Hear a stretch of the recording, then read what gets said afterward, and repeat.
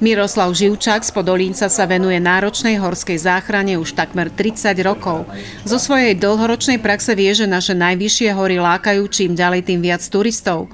Úmerne s tým ale stúpa aj počet výjazdov horskej záchrannej služby a to tak v zimnom ako aj v letnom období. A žiaľ aj počet úmrtí má stúpajúcu tendenciu. V Lani zahynulo v Tatrách až 22 turistov, čo prekročilo bežný priemer. Smutné je aj to, že vo väčšine si turisti neuvedomujú rizika a podceňujú svoje schopnosti činnosti. Horskí záchranári potom často zvádzajú boj s časom i náročnými podmienkami.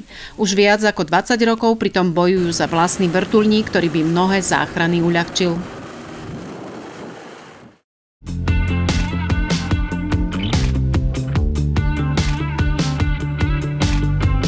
Máme zhruba ročný nejaký priemer 500 až 550 zasahov, vrátane teda aj lyžarských zasahov a z toho je asi 13 až 15 tých smrteľných úrazov, ale zvyšok v podstate sa nám podarí tých ľudí zachrániť.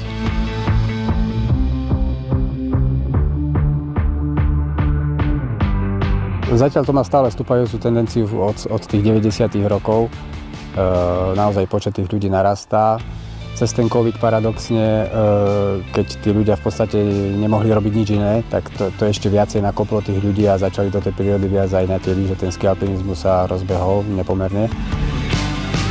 Aj keď človek niekde e, ten terén pozná, bol tam stokrát v lete, tak v zime je to už úplne iné, v burke je to úplne iné, vo výchrici je to úplne iné, v noci je to úplne iné. A tí ľudia buď si to neuvedomia, alebo nechcú si to uvedomiť, to už, to už je na každom z nich ale hlavne potom, aby e, vedeli, že nie sme ako bežná záchranka, že nedokážeme tam dobehnúť za 15 minút. Aj pri tých smrteľných, ale aj pri tých, e, čo prežijú veľa razy, samozrejme v tých 80% minimálne tí ľudia si môžu za to sami, lebo buď to spôsobia svojou nevedomosťou alebo podcenením tých podmienok, ktoré sú v horách, alebo precenením svojich schopností. Dúfam, že táto práca teda bude fungovať ešte kopu rokov, kým proste bude fungovať nejaký ten turistický ruch v horách a, a v tých národných parkoch, tak proste budeme tu potrební a budeme musieť aj naďalej na sebe pracovať, aby sme tým ľuďom dokázali pomôcť.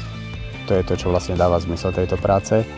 No a náročne je to zase tým prostredím, ktorom sme síce nadherným, ale veľakrát aj nebezpečným a nielen pre tých pacientov a tých zranených, ale veľakrát aj pre zachránárov Takže musíme vlastne neustále pracovať na tom, aby sme si udržiavali a zvyšovali svoju odbornú spôsobilosť, fyzickú zdatnosť, technickú, či už horolezeckú, lyžiarskú a samozrejme metodickú a medicínsku.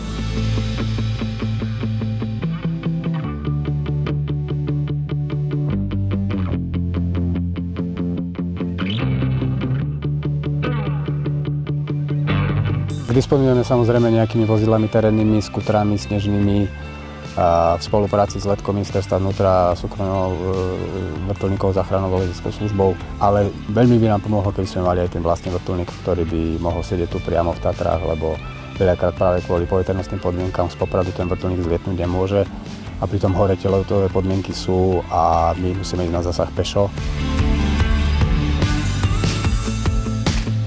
Pri tých väčších zásahoch, pri tých e, ťažších akciách, kde, ktoré sú náročné na počet ľudí, záchranárov, tak nám pomáhajú veľmi e, dobrovoľní záchranári, naši zmluvní, ktorí s tým základným výcvikom, ktorý majú, sú nám napomocní.